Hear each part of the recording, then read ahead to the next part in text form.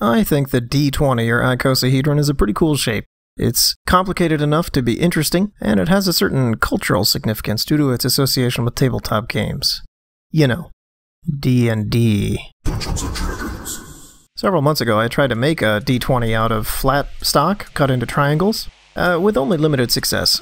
I tried on very small uh, D20s, maybe an inch or two in diameter, and I just found it difficult to manipulate the materials, especially once the D20 became more than hemispherical. Once it's more than half of a sphere, it's really hard to assemble without the pieces falling in and all that kind of stuff.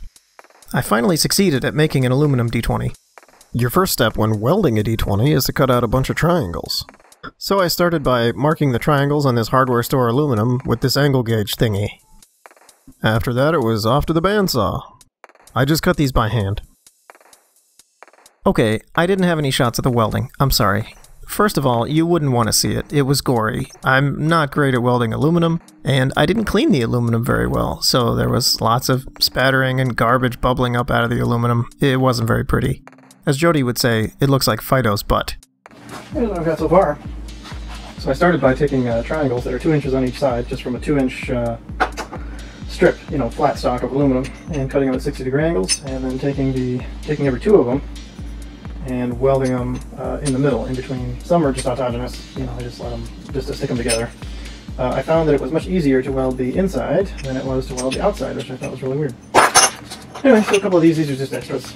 Uh, and then here's the ball that I have so far. It's still almost boiling because I just took it out of the out of some water. But uh, the welds are ugly because everything is dirty. You know, I didn't, I didn't prep this aluminum as well as I should have. It's got oil all over it, so yeah, whatever. Anyway, it's coming out pretty well. Then we grind off these welds and see if we can't make it look nice. And then we'll give it a second uh, second weld to close any big holes that we find or anything like that. But so far so good. Okay, all the initial sanding is done. All the um, all the joints are are sanded off. You can still some of them still have uh, little interfaces you can see where you can you can see the weld metal versus the base metal. Uh, most of them don't though. And there are some blemishes now. So I just ground them to square, so they're just edges right now, most of them. And the, the ends here are points, sharp points. And I don't intend to leave it like that. So I'm gonna put it back, uh, back to the welder, fill in little blemishes like that. You know, um, the points, some of the points are still crap, craptastic, so uh, those will be filled in and resanded. But yeah, uh, we're in touch-ups now.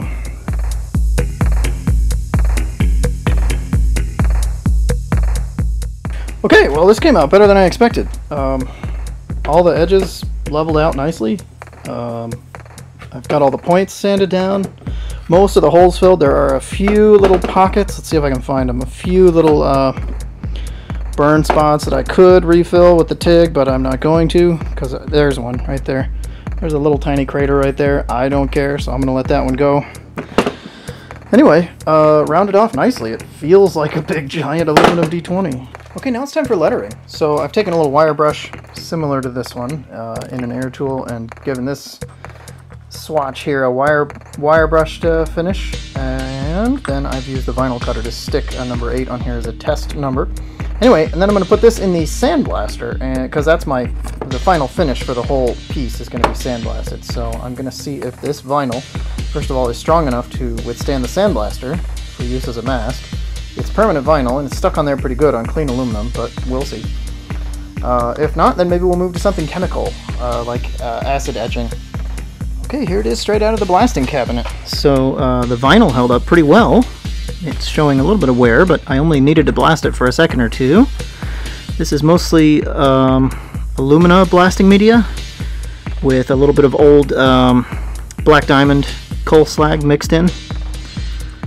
That looks pretty neat. That looks pretty darn cool. I like that.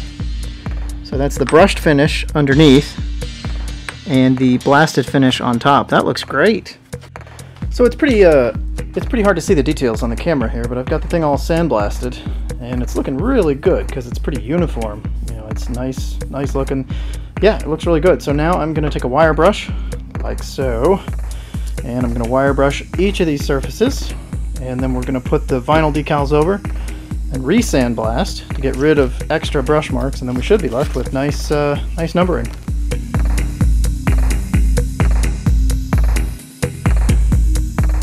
Applying the decals is pretty typical. First we weed off the background, then we stick it onto some uh, contact paper for transfer. Transfer it on, rub it nicely,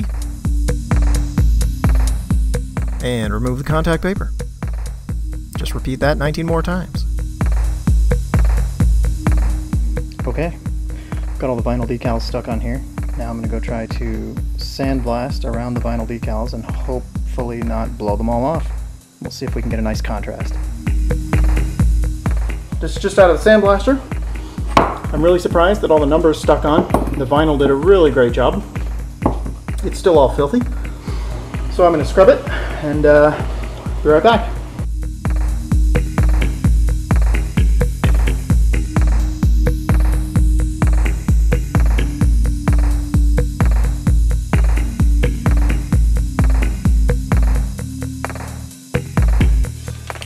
Okay, here's the plan for painting. I got two of these paint stirring sticks, screws sticking at the edges, clamped onto the workbench.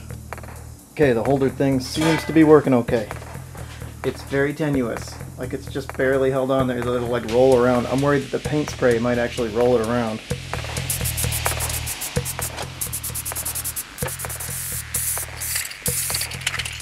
I love it. It's beautiful.